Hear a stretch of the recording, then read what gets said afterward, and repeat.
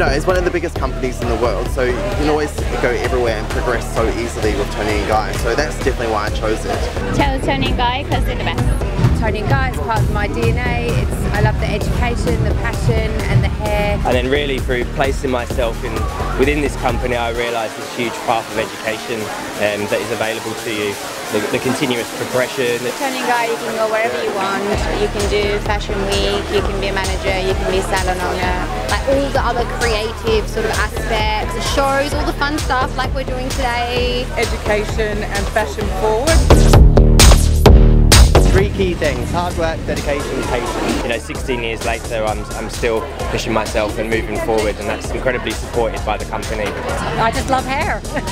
it's kind of um, having mentors in the industry and just working, putting your hand up for every single opportunity that comes your way. And all you have to do is just put in that extra effort and you can get to where even I am today. And it is awesome.